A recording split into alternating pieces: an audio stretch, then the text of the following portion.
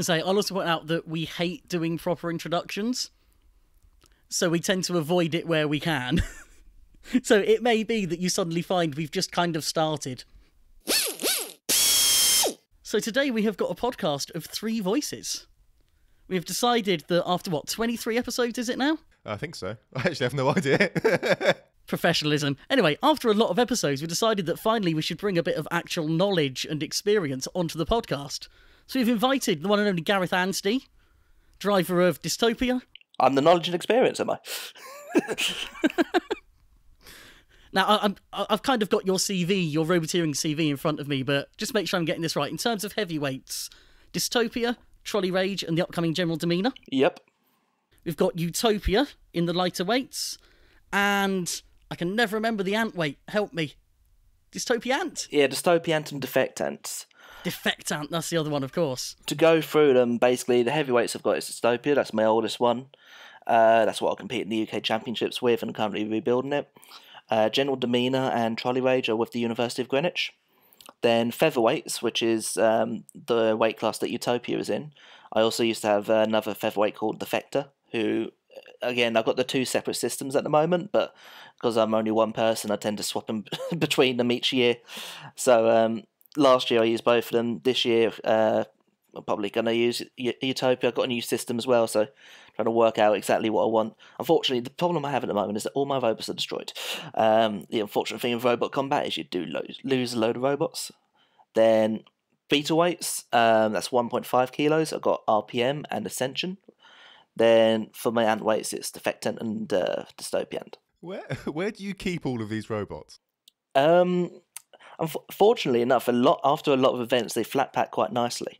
Um, but in various places, like uh, the, the the beetles and the ants, I kept I keep on the dashboard in my van. Sometimes I go to work and show people them. Um, because especially with my work as as well, sometimes it's always about uh, your relationship with your customer. And if you're like, here, look at this cool thing, uh, it goes quite well. Then the featherweights, I tend to keep in my bedroom, either in my closet or you know on shelves and that. Then the heavyweight has to go in the garage. Fair enough. So with that, uh, I mean, it's almost an army at this point, isn't it? Yeah. An army of robots you've got. I've got about ten of them, I think, at the moment. Absolute madness. They're in various states at the moment. Um, certainly, as I say, I'm rebuilding Dystopia. Utopia is completely wrecked at the moment from the World Champs, but they're all in various states. So trying to get them up and running again for this year. with with all those robots, how many how many like transmitters and receivers do you have? Like, do you have to keep like swapping receivers around between them, or have you got a receiver in all of them and then one transmitter with loads of things programmed in it, or have you just got a pair for all of them? So I've in total got three transmitters. Um, one of them is for the University of Greenwich robots, uh, purely so they just they they have all of their own stuff, because that means that health and safety wise, I'm not bringing my own tools into the university. They've literally just got a box there with all the robot parts I need. All that's kind of separate. It is me, but at the same time, it's separate from me. Um, then I've got two transmitters of my own, um, which basically all the championship robots are bound to one transmitter, and then all the secondary robots are bound to another. I probably have about six receivers. Um, I rarely ever need to take a receiver out, but sometimes it happens. So this really for you is kind of a full time hobby, isn't it? Yeah, it's, you're always either thinking about it or repairing and do, doing various little bits. I mean, even say for example, at the moment, I'm not really doing much in terms of ant weights. Um, I'm still thinking of, you know, I've just bought some new parts for my featherweight. I'm currently designing the new heavyweight. Um, and I had a disc arrive for the beetle weight last week. So again, I'm going to be probably assembling that over the weekend. All various things. You don't tend to just work on one robot throughout like a day. You tend to just mix and match little bits here and there, kind of thing. And this is kind of the thing that we want to focus on today is that the sport is largely a hobby and there's so much going on that we don't see on TV. So we're sort of looking to pick your brains here on the whole gamut of the live scene. So f- first of all, just again on a personal note, how many live events do you reckon you attend in a year? Uh, me personally, about fifteen normally, maybe up to twenty. It depends. Good lord! It depends really what you count as a live event. Um, certainly for Extreme Robots, I think they do about eight or nine a year. Uh, Robots Live do another three.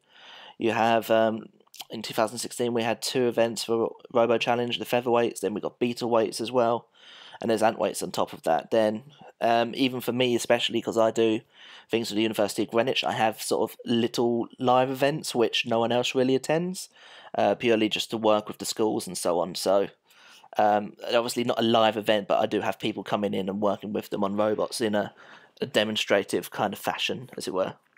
Fair enough. That's immediately far more activity than I thought. When when Ryan asked that, I was expecting you to say maybe like six or seven events. and again, this really does show the scale of what we miss if we just look at what's happening on TV.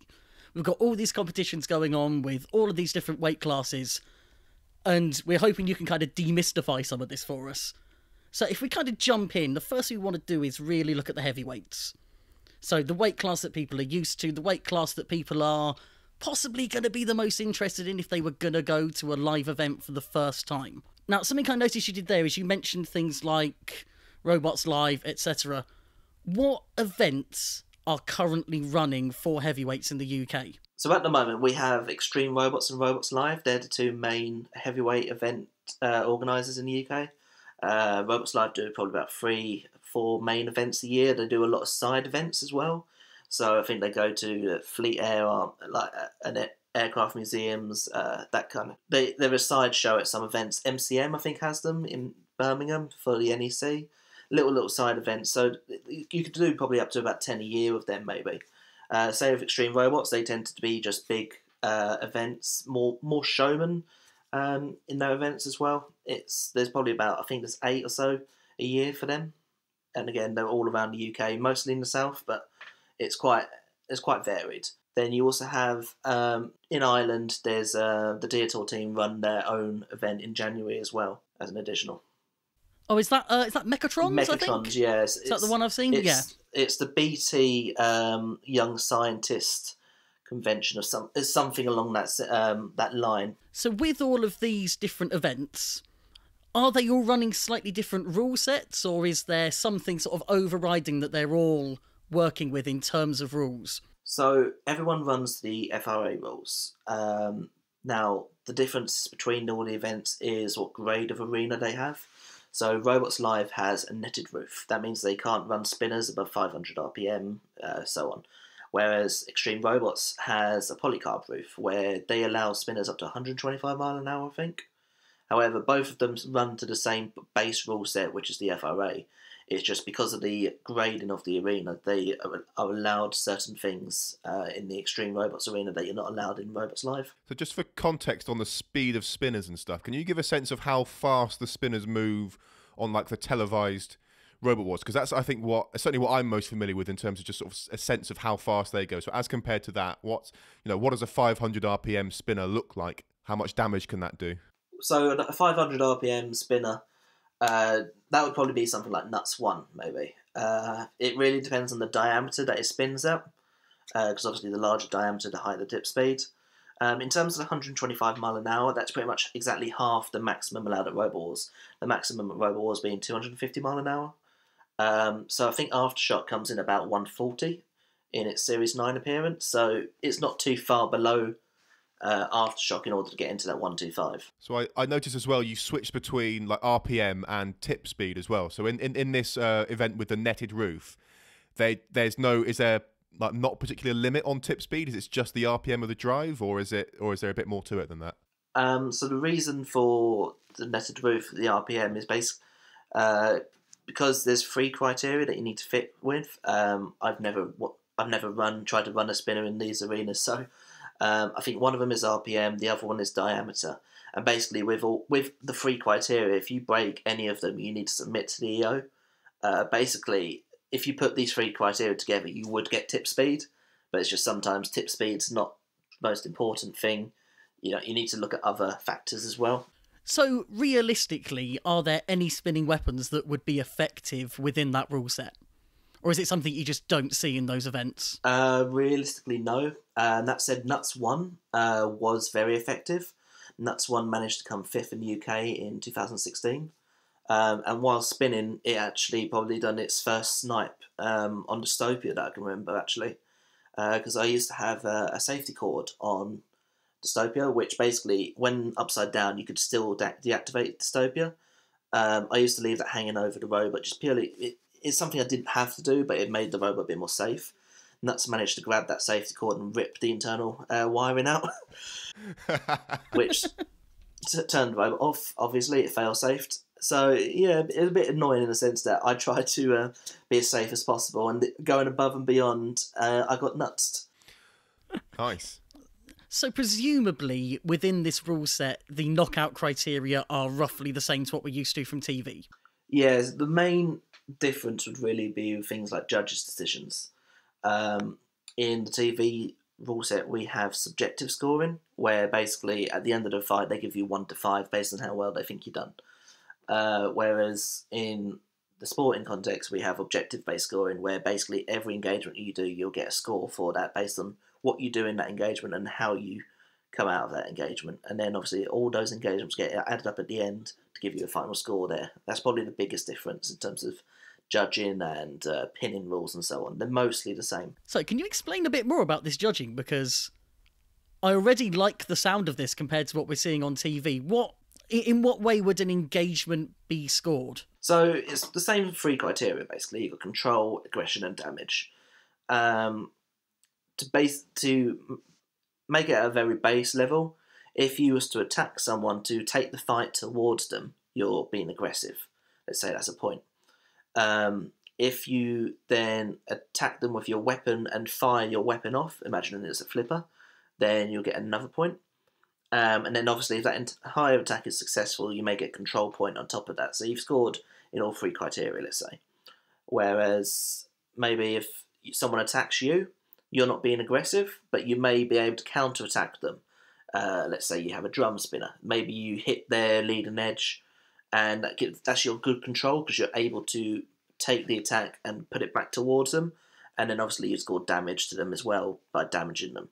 So yeah, each engagement is marked on those three criteria, and it's basically how well you do in each criteria that means how many marks you get. Are there particularly any like arena hazards in the live event arenas and if there are how how do they factor into the scoring like if you do a lot of damage without ever actually using your weapon and do it entirely by you know arena hazards do you would you get any points for for damage there or is it or would that all be just aggression points um it it doesn't tend to be a sense that we like analyze the robot after the fight to see how much damage it's got unless it's a very close decision like one on one versus hit the disc kind of thing um it tends to be more that it's basically every engagement you do. So like Gabriel scores a lot of points because it's constantly attacking, it's constantly going back and forth and landing hits.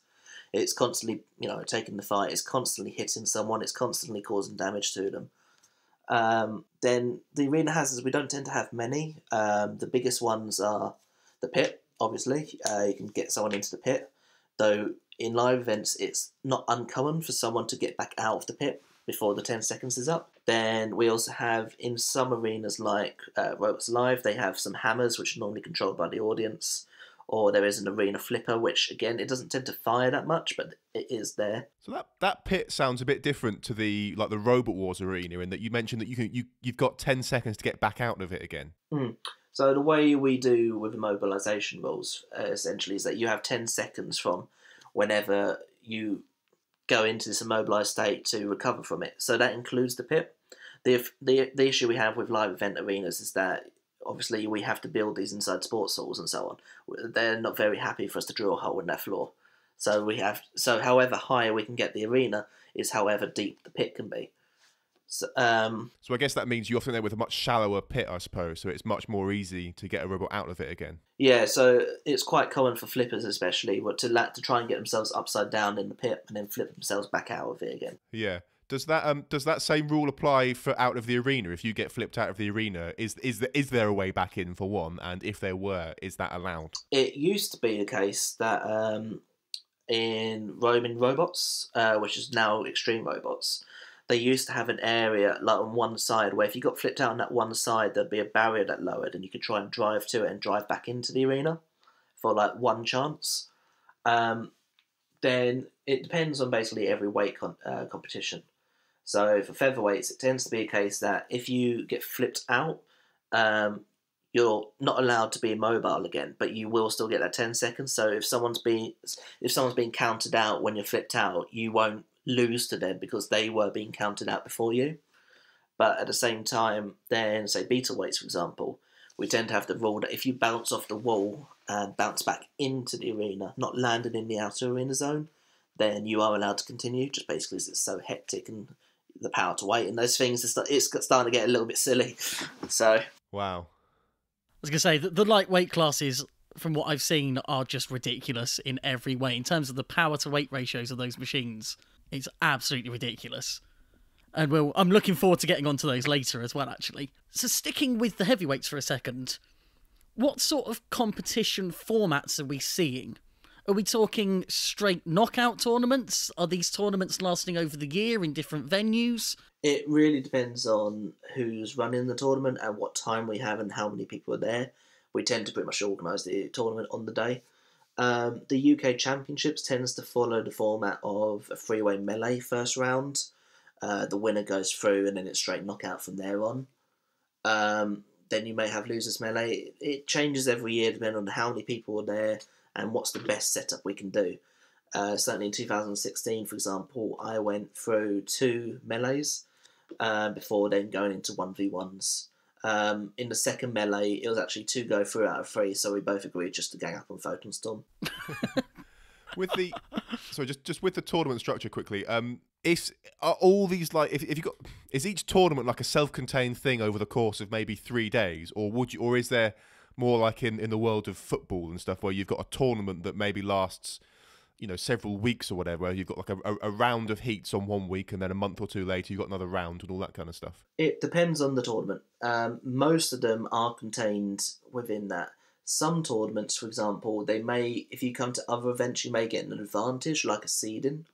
Um, however you won't actually uh, say you don't need to come to these previous events in order to get into the later events as you may like with a football tournament. So football, obviously, if you if you don't send your quarter final match, you're not getting into the finals. Then, but at these live events, for example, Dystopia, um, in 2015, I was repairing it throughout the first half of the year. So there was four events, four qualification events in that year, and everyone got points based on how well they done. Uh, Dystopia only came to the fourth qualification event and won. Um, so going into the World Champs that year, which was the Robot Wars World Championships, um, Dystopia was seeded sixth because it got so many points just winning that one event. Uh, that seeding, you know, the, there's a lot of robots there that had not been to any of the other events, but obviously that seeding meant I avoided all the other seeds. So again, it really depends on the tournament. It's sometimes it's just the EO wants to have a bigger tournament over several events. Sometimes they just want to have a, one tournament they can do over the weekend and let the uh, whoever attends that weekend follow it. So you talk about qualification there is that qualification in the sense that we recognise it from other sports where certain tournaments you literally have to qualify into? Or is this more a question of it is, as you say, advantageous to get yourself seeded? Um, in those tournaments, it tends to just be advantageous to get yourself seeded. It can really depend. Certainly now we're coming to a point where in the lo- in the lower weight classes we have so many people wanting to attend that we are having to do either selection criteria or just basically cutting off and saying right, everyone else is now a reserve. Um, certainly, for example, the UWE, we had to cut people off. That was for beetle weights. Um, it got up to 50 sign-ups, um, and in the end got up to 70. So we just had to cut it back and say these 48 are in the competition. All the others are reserves.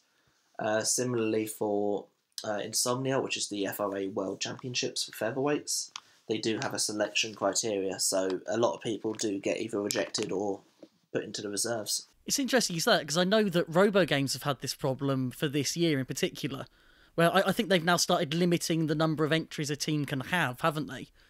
Purely due to being oversubscribed. Is that something that we're moving towards now in terms of having a healthy scene of UK heavyweights that's almost outgrowing the events? Um, I wouldn't say that at the moment. If everyone turned up in one go, then probably yes. Unfortunately, uh, though, not everyone always turns up to every event. So that's what some events we may you may turn up and think, oh, no one's here. Uh, whilst other events, like say UK champs or the European champs, you turn up and there's about 36 robots signed up. So if we had gone out, well, if we wanted to enter, how would we go about it? Um, the most important thing is to sign up to the FRA uh, forums. Just basically have a look through there, learn the knowledge, and so on. Um, in that as soon as you done that, just basically find the events that are on there and turn up. Uh, if you have the working robot, you'll have to do a tech check.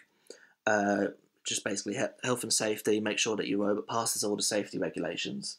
And assuming that you've got a working robot that passes all the safety regulations, regardless of whether it's a really good one or if it just barely moves, it will get into a fight. So with this health and safety stuff, how what how how is a robot deemed safe? Like what is that procedure? And like sort of like with, within that question, I guess I'm sort of trying to ask, you know, how much does your reputation influence that? Like if you're if you're going there as someone who's been in the scene for age and age and age, and everyone knows you, is is there like a sense of trust there versus if if I turned up completely out of the blue with a robot, are they going to be more?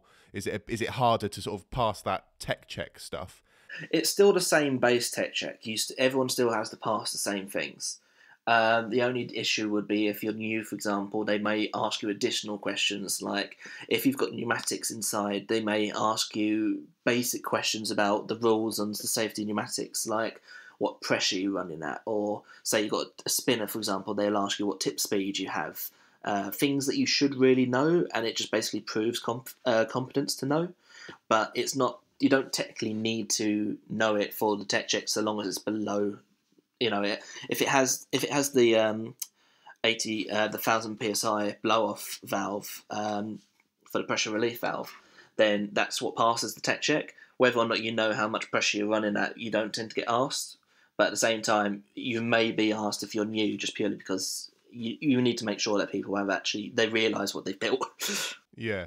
So with the with that like pneumatics and stuff like that, I this is maybe a bit of a uh, a naive thing to be asking, but like so if you've got how much difference does it make, I guess, for having like a robot that's built primarily of like off the shelf parts, if you know what I mean? Like if you got if you got that valve and some like pre built pneumatic systems and stuff, put that in, versus if you custom machined the whole lot. You've got a custom machined chassis, custom machined um, like pressure vessel that you've got, and then a custom made ev- everything else completely custom fabricated, like not for sale anywhere. How is, is is there one side of that that's deemed safer than the other? Are you more likely to be accepted if you've used off the shelf parts, or is it a sense of oh you've successfully built it, therefore you know that's probably going to be good? so it really depends on the eo um, so what they'll probably ask So what was that? the eo What does that mean? the the event organizer sorry Okay. um it's one of it's so they probably ask you for a pressure test uh, if you take you take it to a commercial company and they've pressure tested your components to make sure to basically state that below this pressure these things will not blow up So that's so you can take it to someone, they'll fill your tank up to whatever pressure it was, and then you'll get like a certificate, I guess, or some kind of certification that that is acceptable. yeah so the easy ones are for example fire extinguisher bottles where you can just take it to a fire extinguisher refill uh, not tell them what it is and just basically put it in for a stamp uh, in which case it'll have 10 Okay. it'll have 10 years based on um, on when it was last recorded So presumably this is a process that you go through every time you turn up to an event, rather than just doing it once and the robot being signed off.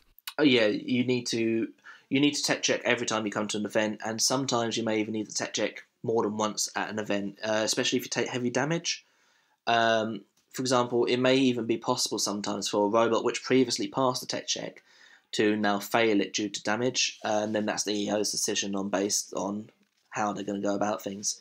Uh, this actually happened to me at insomnia for example where utopia uh, took some damage uh, where effectively the locking bar for the weapon you could it would start the fight with the locking bar in and the, it worked perfectly. However at the end of the fight because the uh, mechanism was slightly twisted you'd have to put your hand on the robot to insert it back in. So in that case it would fail tech check but because you could arm it up safely uh, and so on and it was known it wasn't intentional and it was battle damage then I think I think they, they said it's fine but get it sorted for the next event sort of thing That reminds me of a really weird dream I had a few nights ago where sorry, sorry, this is way off topic, but it's it's kind of on topic. I had a dream where for some reason I was at a live event with what seemed awfully similar to the new version of Diotoir. and I, I was in the pits, really competent, knowing exactly what I was doing, and then I realised that I hadn't put my restraining bar in, and I woke up in a cold sweat. Aw, poor I spent so much time reading over rules and things recently; it's starting to get in my head. That's ridiculous. So, I mean, at an event, how seriously would a safety violation like that be taken? it can again it will depend on the EO. Uh, certainly, if you're at Robo Challenge, for example, they're the people who do the tech checks and so on at Robot Wars. Um, they're extremely serious. They very competent people. They know a lot about their stuff and so on. So any safety violations will be very seriously considered. Um, other events, it really it really depends on the EO because at the end of the day, it's the EO who's the one who's enforcing it. Um, sometimes you may have a robot which doesn't have a power light, um, in which case they'll allow it. Uh, I mean, for example, I once had a case where I was running an event and we had an RC toilet. Uh, technically, didn't pass the tech check, but it was so hilarious and it was, you know, it's, it's an RC toy car that you passed it anyway. That sounds kind of like an almost Teen Tiki style entry. I'm thinking of the butter passing robot from last year's Robo games in particular. So, thinking now about you know people that aren't necessarily going to have the time, energy, skill, whatever to build. What could someone expect when they go to a heavyweight live event? Uh, in terms of to watch, is it? Yeah, to watch. So, for example, how many fights are you going to get in an average session? So your average session will have nine fights. They normally split it up to five before the interval, and then there'll be another four maybe after the interval. It really depends on again which competition you're going to see. So if you're going to see Extreme Robots, for example, they have a lot of side things going on as well, where it's a very much it's a production show, as it were. Uh, so you're, go- you're going to see an entire show, not just the fights. Whereas Robot Live, it's very much more about getting to see the Roboteers and getting to see the behind the scenes, that kind of stuff. Um, so yeah, it can. It, robots Live, for example, you can see boxing robots. They have those, which are really great fun. Uh, both shows they have uh, Skelly from Techno Games. Uh, Oh wow, that's old. you can, yeah, cli- they're climbing a rope. Um, little, there are a lot of fun things that you can see as well as the fights. It's normally about nine, and then there'll be four shows over a weekend on average. So it sounds to me like at some events it is more about the fighting, at others it is more about putting on a show. Is that a fair statement? Yes, if there's a championship, people will take it seriously. Um, so, for example, I say Extreme Robots, they're about putting on a show, which is totally fair. But if there's, they do do championships as well. And so, for example, the last championship I done, Extreme Robots, my semi-final fight, I won in two seconds, just purely because it's a, you know, it's a championship fight. However, You Michael Oates it. Yeah. However, in the same sense that if we're doing um, uh, sort of a show fight, the the last um, show I attended with General Demeanor, we had a fight with five robots, and two of them got stuck, stuck together. You know, I could just drive into the arena and celebrate. You know, say they're stuck. I'm uh, I'm happy with the win, but you know, you try to separate them. You try to help them to keep going, and just you know, you, you, you want the fight to go three minutes so the audience can enjoy it, and pretty much so you can just have a little kick around. So this is as much fun for you as it is for the audience. This isn't necessarily intense competition. I would say so. Not it. I mean, if the spinners in, there's a, it's obviously a different um, ball game because obviously the potential for damage is so high.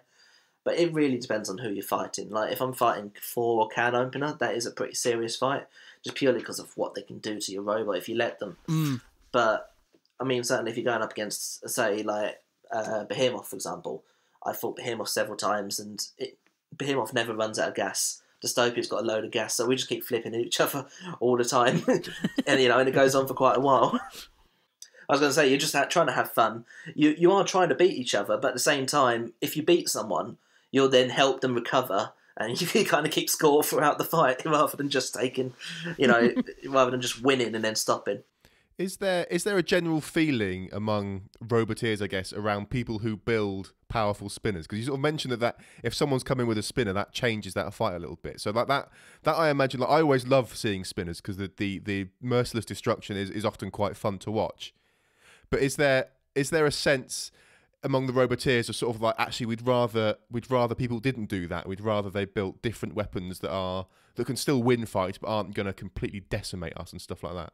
I think with spinners, when we're not doing championship fights, when we're doing fun uh, family entertainment, as it were, there is a bit of a problem with every two or three weeks having to fight spinners again. Um, but at the same time, there are a lot of people out there who will happily fight spinners over and over again. Gabriel is one that comes to mind. Um, you know, it's it, it really depends on the person. Uh, personally, I haven't fought a spinner in a live event arena yet because I've always been using using the university's robots so far. But at the same time, it's it's personal preference. But at the same time, with a spinner, you can't play friendly. So if you're if you're if you're at one of these events and you're going through the tournament structure and then you, you, you get drawn against a spinner, can you can you just withdraw from that fight and give them the win without having to risk completely destroying your robot? Is that something that's allowed to happen, or or is it sort of the like crackers and smash approach. yeah, or is it you've got to have you got to sort of you know go and fight them a little bit and maybe just sort of pit yourself or something? Um, so when you sign up to the event, you're either going for whiteboards or you're going in for the championship. If you're going in for the championship, you go in against whoever you're drawn, and that will be spinners at Extreme Robots. Uh, Robots Live is not going to be spinners, but um, Extreme Robots, it certainly will probably be spinners in the championship. If you don't want to fight the spinners, you're just going for the whiteboards. And so they they're just that they're not competitions. They're just what are they just fights that fill time, or is it like a separate tournament that runs alongside it, or or what? They're basically just fights that for the for the audience more than anything. Uh, the, the the reason they get their name is basically because there's the whiteboard written on with the show plan of what fight's going to be where, and basically you go up to it as a pen and you write your name down on one of the fights. Fair enough.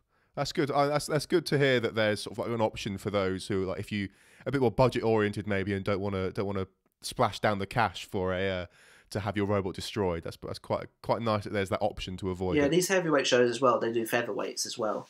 Um, there's going to be two featherweight fights every event um, or every show in the event, um, and then one of them is for non-spinners, one of them is for spinners. So eventually, what you're probably going to see is that those spinner fights is basically ten spinners just going out and destroying each other or being too scared to do so. Whereas the non-spinners, it's um, obviously just friendly. It was interesting earlier that when you mentioned different robots, you sort of gravitated towards ones that we've seen on TV. And I think it'd be especially interesting for people to hear that you fear a robot like Can Opener, who on the TV series kind of got nowhere, but by live event standards, I realise is very destructive. What sort of recognisable names and faces would you see from TV, and what would be the less well known names to watch? Um, I think probably the biggest, less well known name is actually probably one of the most well well known names, which is Manta. Manta is the current UK champion and is owned by the same team as Aftershock and Shockwave. They're owned by Will Thomas and Ian Thomas. Um, it's one of the best robots out there. I've lost to it many times. I've fought it many times. I've not won as many, but um, But at least some. yeah. But as I say, it's one of those uh, robots which is not well known if you don't know the live events because Manta never got on the TV show. But at the same time, when you look at the team, you'll be like, I know who they are. You, you you mentioned that they own that robot. Is is is that wording because they didn't build it and they've bought it, or is it just you just generally talk about who owns it and not really worry too much about who builds the things? No, Manta was entirely built uh, by the team. Um, Okay, cool. it's yeah, I can't I can't think of a word, word to describe it. It's it's one of the things where they built it so long ago. I just say that they have it now. it's, it's, That's, that's it's, it's I, I wasn't sure if that was a specific choice of word. no, it's not. It's um, I mean, the thing is as well, it can be a triggers brooms uh, situation sometimes with some robots where there are people who have bought robots, but they've done so much to it since that they basically built it anyway. Something else that I think is potentially confusing for people coming in with knowledge of the TV series is that there are robots you will see on the live scene under one name that we've seen compete on TV under another. So I'm thinking particularly about, I think it's Hansi that High Five goes by as the live scene, and Brutus for Cobra. What's what, what's going on there? Is this a choice by the teams or is this a contracts thing? What's happening? Uh, it re- it's really case by case. Um, some robots may change their names just to be more TV friendly. I think Draven had to do that back because um, back in when it entered the original Robot Wars, because I remember it being a different name before and called Anthrax maybe or something similar. Um, then, but obviously robots change names just purely because either they make them more marketable or in some cases, for example, like Pulsar to Magnetar, uh, basically production looks at it and thinks, oh wow, it's an all new robot, we haven't seen this before. And actually, it's the same thing. But it obviously, it's one of those things where like Gabriel, for example, I, I've never heard anyone call it Gabriel two on the live scene, but Yeah. it's one of those things where you're you're trying to do things for production to make it appealing, whereas on the live scene you just call it by what you wanted to call it. The other one that springs to mind now, come to think of it, is Beta, which I believe competed in one or two live events as Basher. Um, no, I don't think it ever. It has been to live events, um, and it has tested at live events. I think they tested the hammer once at a robots live event. I say I've seen a photo of its hammerhead stuck in yeah, a floor. they, they, That's where I got the idea it might have they did. They did test it once, and I, I think I remember being there when they did it. But I, I, don't- be, I don't remember Beta ever um, fighting in the Robots Live Arena. It, there probably will be a video of an event I didn't attend where, where it did, but I know that it, can be, it entered under the name Basher in the pilot. It's probably one of the reasons why there's no videos of the pilot because um, obviously the BattleBots contract and so on. So the reason I ask is obviously we've got a lot of British teams competing overseas at the moment in various competitions. I, I don't know if you know about this. I don't know if you can even comment on this, but is there a chance that we're going to see some of those on the live scene when they return? Um, it really depends on which competition they're entering. So, BattleBots, for example, I don't know the current uh, contract negotiations, but certainly all the Series 1 and 2 for the reboots, they are allowed to compete on the live scene. Photon Storm, for example, I said earlier, I fought against it in the UK Championships. Um, it's probably just the case that they don't want to. I mean, for example, Terahertz probably it fights whenever John Reed's there, and if you're trying to run two heavyweights, it's a bit handful. Mm, I'll bet. Basically, what I'm saying is, can I see Spectre on the live scene? That's what I'm really asking here. I mean, I don't see the Coopers at many live events. Um, I'll be honest, because they're, they're very busy people. I, I imagine. I was going to say, I imagine they must be super busy. Yeah, they they do have a lot of TV contracts, as far as I'm aware. But at the same time, you know, when we when they do come, we could see them. It's perfectly possible. There's a lot of people who used to compete a lot more who maybe don't now so much. Uh, for example, Dave Moulds was an original UK heavyweight champion with Turbulence. Mm. Um, he doesn't do the heavyweight live scene so much anymore, but he does compete at the featherweight level quite actively. It's interesting as well that I think we, we sort of mentioned this shift towards spinners for Robot Wars. Is the dominance of flippers on the live scene a competitive thing or more of a design choice that people just enjoy building them? Um, it certainly used to be a case that the design of the arenas was a lot worse. Um, we've since started limiting the arena, so now you can only flip out on one side, for example, or only flip out in certain areas. A bit like Robot Wars, whereas before it used to be a case that you could pretty much flip out on three sides of the arena. Um, so it probably back in those days, flippers dominated purely because the arena favoured them. Um, nowadays, it's it's hard to say exactly why. I think the the lack of spinners, the spinners are probably the natural counter to the flipper because obviously with the heavy pneumatics, it's going to have a weaker armor. Um, and then rambots, for example, they can't really deal with the flippers because eventually the flipper's going to get underneath them and do something to them. So the most successful robots probably will be Axes. Uh, Terahertz is two-time UK champion. Big Nipper, two times UK champion. Then, yeah, as I say, you're always going to have the robots that are flippers, crushers, axes be the most successful because they got they only counter each other, whereas the Rambot kind of has to take their punishment, but it can't really deal much to them in return. So it sounds to me that overall we're seeing a much greater variety of winners on the live scene. Yeah, and if you was to look at uh, the UK champions from the past so many years, a lot of them are flippers. Um, but as when we look at Robot Wars, for example, Carbide's been in the final all three times. Uh, Eruption's been in the final two of those times, and then Apollo uh, the other time. So there probably is a bit more variety on the live scene. But at the same time, because of the limitation, a lot of the robots do follow the same kind of generic design. Whereas Robot Wars is that it, it can actually force people to be different, like PP3D, for example. Hmm. So I suppose again, I'm thinking, I'm almost thinking about back to football, where I think people have reached a point where they're getting bored of competitions where the same people look like winning all the time. And I think one of the things that really appeals to me about the live scene is that it seems like anybody could beat anybody. Yeah, that's that is definitely the case. The thing, the thing about Robot Wars, for example, is that Toxic Two, Manta, and so on are not going to get on to Robot Wars whilst Apollo is fighting. Uh, Iron-Awe, Iron Ore Six, for example, again a ve- very similar design. If you have all three, four of those robots, they look very similar next to each other. As such, a TV show is only ever going to pick one or two of them to actually appear on the show. But the thing is, if they're four of the best robots in the UK at the moment, which they are, then surely in a sporting fight you'd want all of them to be fighting because all of them could potentially win it. And that's the good thing about the live scene is that everyone can do it, everyone can enter, and as such, anyone has a chance. Fantastic. One final thing I want to ask about the live scene, and maybe I'm accidentally caught in controversy here, I don't know, but you've spoken a lot about there being different sort of live event providers, and they're all obviously and quite rightly running as businesses that want to make a profit out of running their events so that they can run more of them and keep the hobby alive. So, is there an element of competition between them, or are they largely sort of running in harmony for the good of the sport? I'd say they run in mostly harmony. Um, a lot of the people who fight at Exile will fight at Robots Live. I fight, I fight at both of them. If both of them are on the same weekend, it's basically whoever's closest wins. Um, you know, it's one of the things where uh, they're not trying to trip over each other's toes because at the same time they're trying to use the same pool of resources. The more roboteers they can get coming, then the better their show's going to be. And as such, they, you know, they try to. I imagine they were trying to work with their schedules as best as possible. It doesn't feel like there's any one uh, team who will say, right, I'm going to go to this event and not go to any of the others. It tends to be uh, just personal preference for some people. Maybe some people say, oh, you know, I can only attend one or two events a year.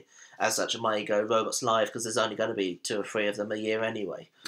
Um, it can just be simple things like that. Maybe sometimes that maybe have personal preference people have, but I don't see any animosity against each EO. They actually attend each other's events as well sometimes. Excellent. I'm I'm very glad to hear that because again, I think anytime you're in a niche space like Robot Combat really is off TV, and any sort of animosity within it can break it down so quickly. I suppose the thing to do now is move on to the other weight classes because you've mentioned feathers and beetles and ants in particular as a fair bit as we've gone through. What other weight classes have we got and how active are they? So, the main active weight classes in the UK would be nanobots, which are uh, 25 grams, I believe. Flea weights. 25 grams? Yeah.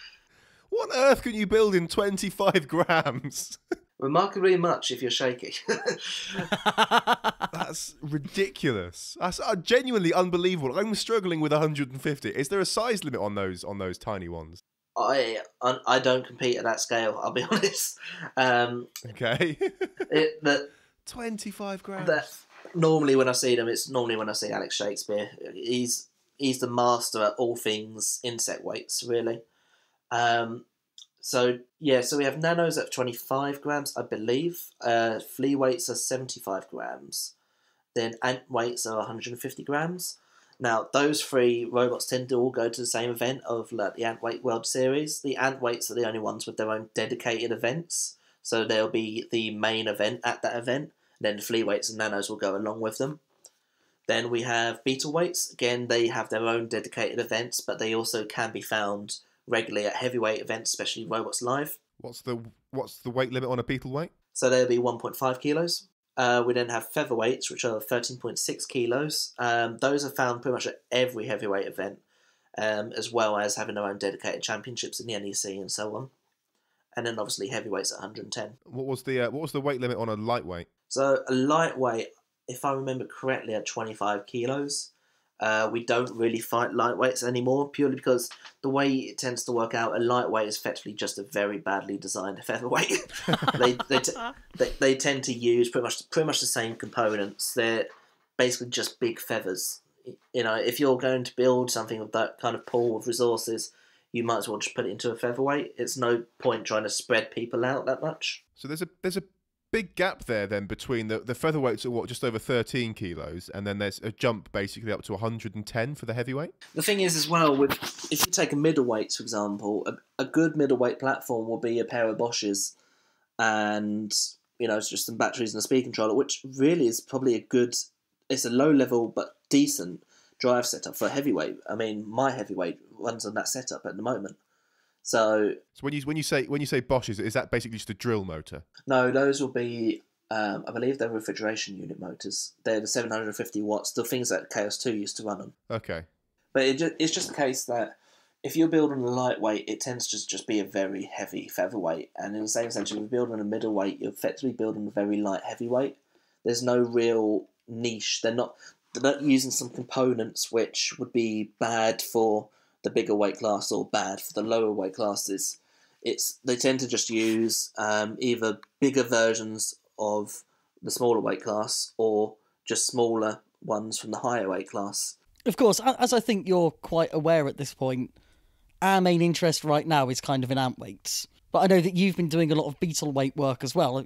So, what competition was it you've just been running? Uh, so we've done the University of West England Beetle Brawl. Um, basically, students uh, society, Robo Society at the university, they wanted to run a beetle weight competition. Um, that's what we've done there. So, in that competition, or in the scene in general, what are the dominant designs for beetle weights? Um, beetle weights tend to come into two main categories. It's kind of hard to get pneumatics in those sizes, so you tend to a lot of the successful ones recently have either been spinners, uh, especially vertical spinners uh, like Tempus or RPM, and then you also have your RAM bots like Limpet XS or Incomplete Control.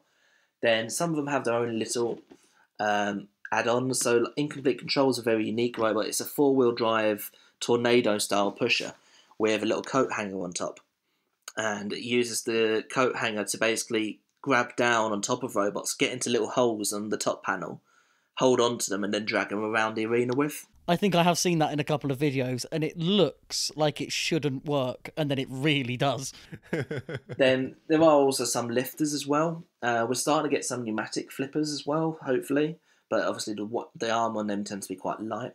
Uh, I know a I've forgotten the name of it unfortunately, but I think it was Jamie McHarg uh, got to second in the UK champs in 2016 with was basically a mini apocalypse. I think it's called Flatulence uh, in beetle weights, which is um, it was a lifter. It's Ryan's kind of name that is. it really is. I'm hoping I remember the names correctly. I'm trying to try to give us credit as much as I can, but at the same time, it's a lot to remember. the, the one thing that's always struck me whenever I've watched beetle weights or really featherweights as well is that the power to weight ratio of them is insane. And yet the robots themselves seem to take the hits much better than, say, a heavyweight would in an equivalent impact. What are the odds of going out in a beetle weight competition and your robot coming back in pieces, never to be seen again? Um, well, I know that at the European Championships, someone entered a K'NEX robot, and that was in many pieces. um, so, but yeah, it it tends to be a case that if you build it well enough and build it sturdy enough, then certainly with the higher power to weight ratios, when something hits it, it'll just go flying. And going flying doesn't tend to damage it so much. It's when it stays still and the mo- and the weapon truck just goes through it instead that that's when you cause the real damage. Because obviously with a heavyweight, in order to make a heavyweight go flying, you need a lot of energy. So they tend to just prefer to stay there and just get ripped apart instead. You'll see at ant weights, for example, two spinners may hit each other and they go across like uh, tiddlywinks, just flying across the arena. Just to hypothesize then, if you built a heavyweight that has the same power to weight ratio as as one of these beetle weights, for example, that could use a spinner to send another heavyweight flying, would you do you reckon that would be less damaging to the other robot because it's because it's sort of a it's not absorbing as much energy it's sort of like flying around or, or do you reckon that would because that, that seems to me like that would be more damaging still like if you've got that much energy you're just going to tear that robot apart. I mean, the, the way you may think about it is, say, with drums, for example, they're spinning at extremely high RPMs, but they only really tend to grind on their opponents. Um, if you is this a matter of engagement? You mean? Yeah, it's it's not so much the engagement, but it's a case that if you hit something so hard, I tell you what.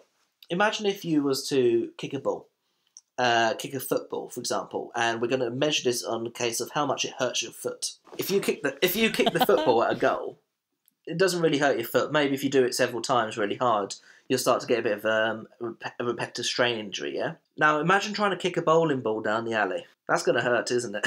I'm just struggling to imagine that Sam has ever kicked a football. To be honest, I've kicked footballs once or twice it's one of those things where that is going to hurt your foot really badly the harder you do it just because the bowling ball is not simply not going to move. Mm.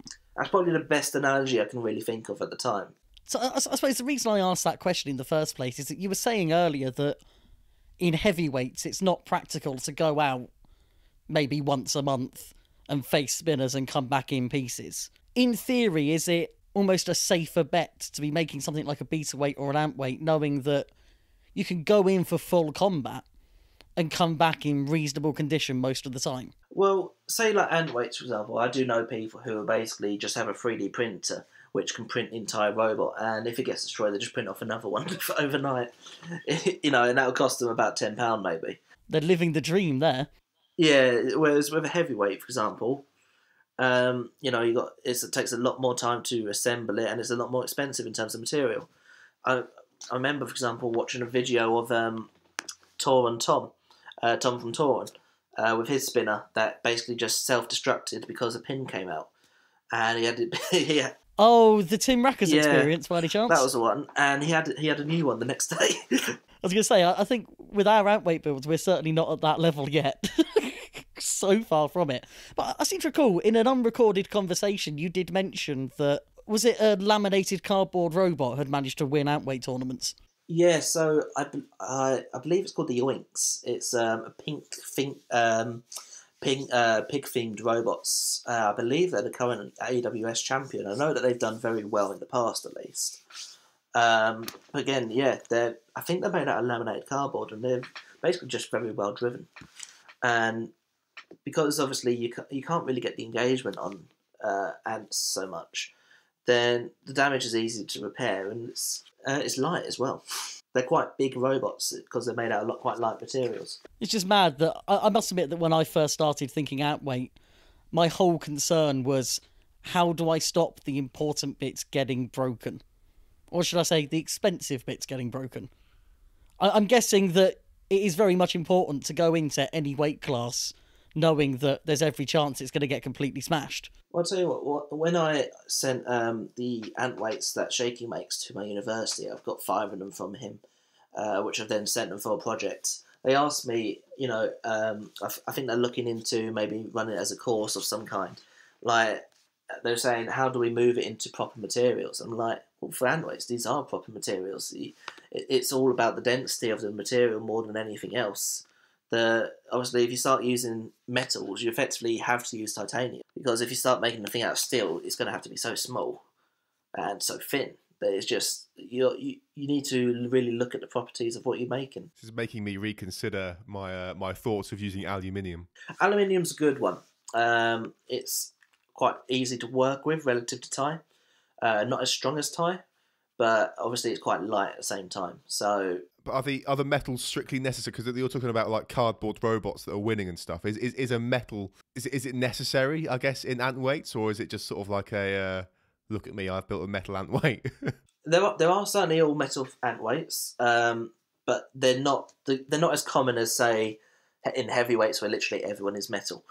Um, then certainly in ant weights, for example, a lot of the ones I see purely because Shaky builds them all um, is made out of three D printing and polycarb. yeah. Would you would you think that in my head, like a metal a metal armored ant weight is going to be tougher than like an ABS ant weight?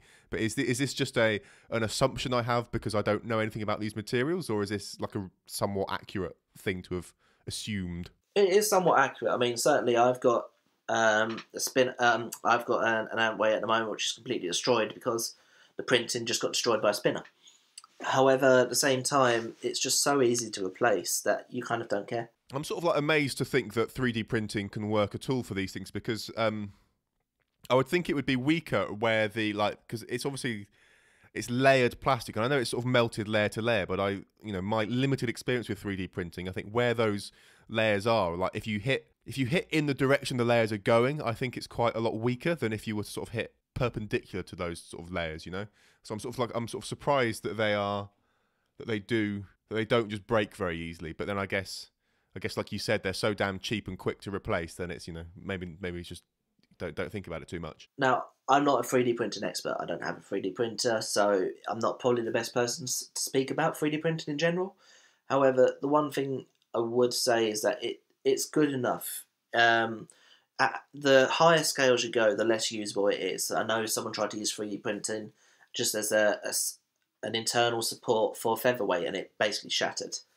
Um, then beta weights again, beta weight unless you're you wouldn't use it as external armor, but maybe internals to support things or to mount things down, it may be good, like for all your motor mounts or something. But generally, the bigger the robot, the closer you get to that point where it will start shattering if you put too much impact into it. So, a final question from me would be if someone is looking to get into building, thinking particularly about starting off at maybe ant weight or beetle weight, what sort of cost should they be expecting and what sort of skills are they going to need? It really depends on what level you're looking at doing it. I mean, for example, as we're saying with ant weights, you could you can buy a kit from uh, Team Nuts, which basically does most of the things for you.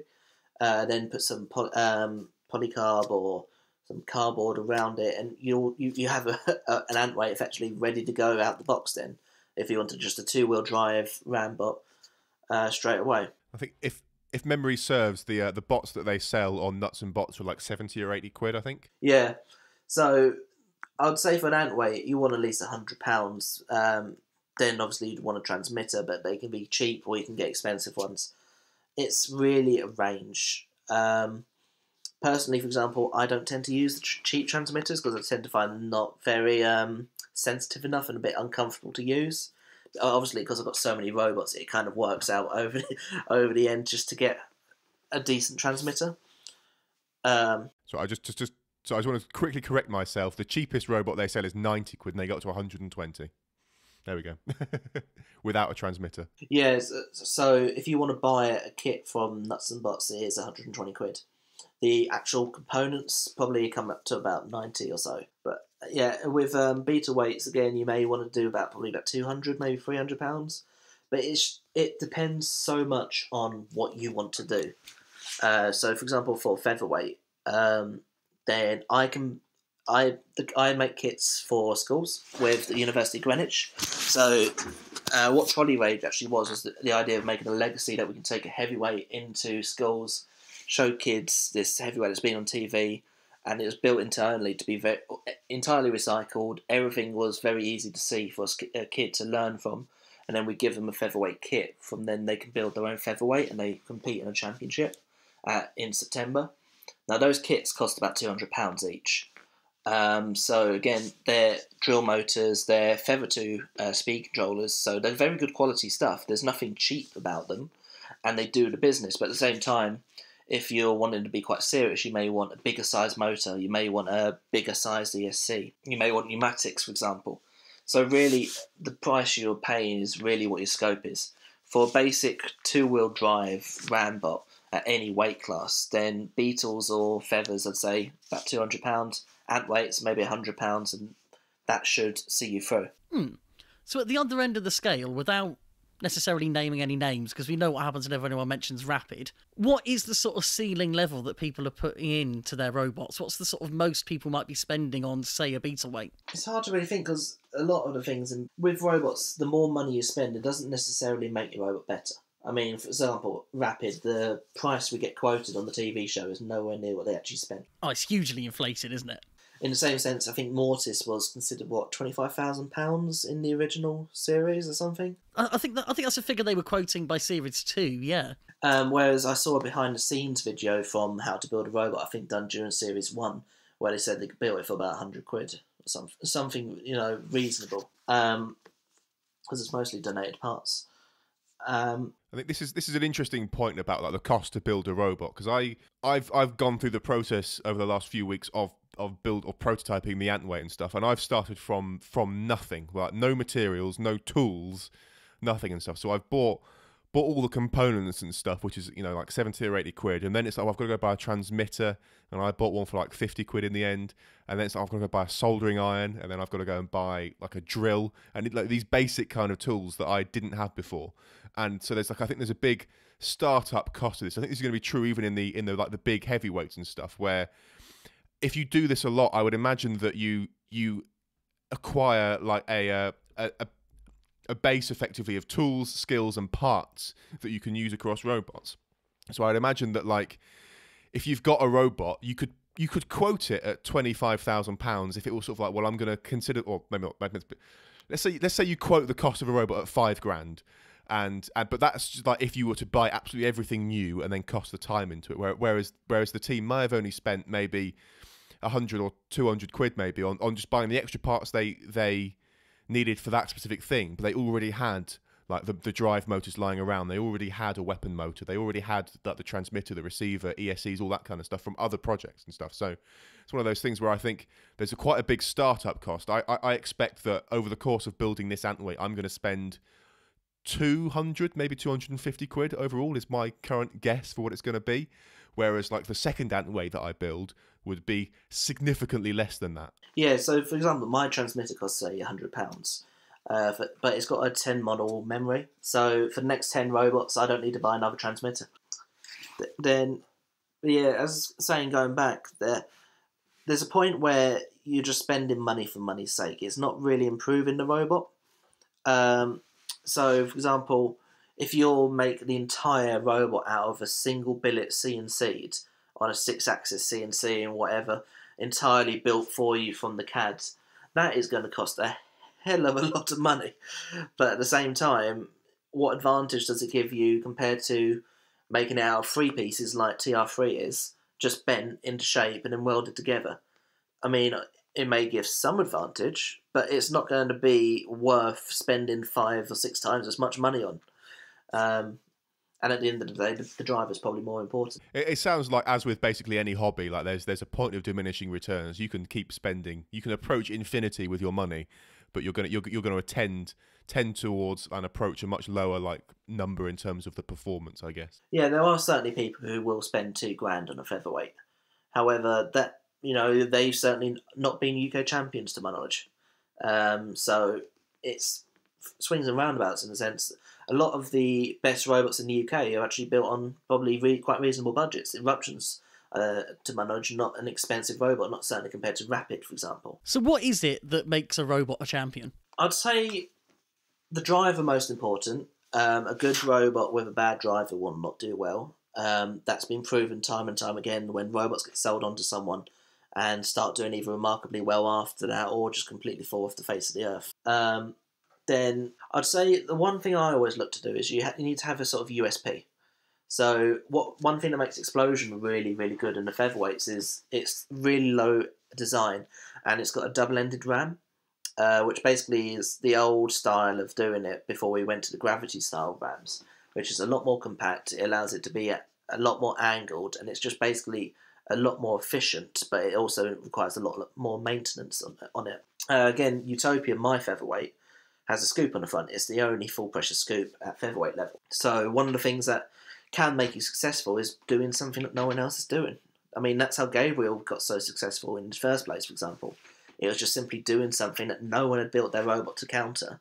And as such, it basically just beat everyone because no one knew, how to deal with it. Superb.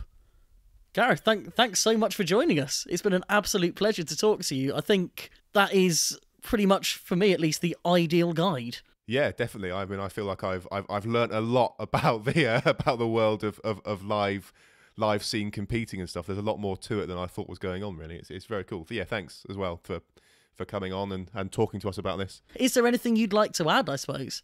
I think it would be good if um, certainly there's a lot of videos up on YouTube. People can start having a look through. Um, maybe in the future, for example, we can start looking through championships to see how people do and look through the designs and so on of the robots. It's one of the things where there's a lot of faces you will recognise in the the live scene. So it's certainly worth at least coming down to watch if you can one of the shows. If not, just go on YouTube. There's so many there to see, and it's, obviously if you're willing to watch a stream, then watching YouTube is even better because you get to skip all the uh, the between the fights. You can find the show notes for this episode at spinnerproof.com slash episodes slash 24. And there you can find links to bunch of the stuff we've been talking about. As mentioned earlier, the links to a tournament you can watch if you want to. And uh, you'll also find a link to our Twitter at Spinnerproof, where you can tweet to us your, I don't know, favourite car in space. Way!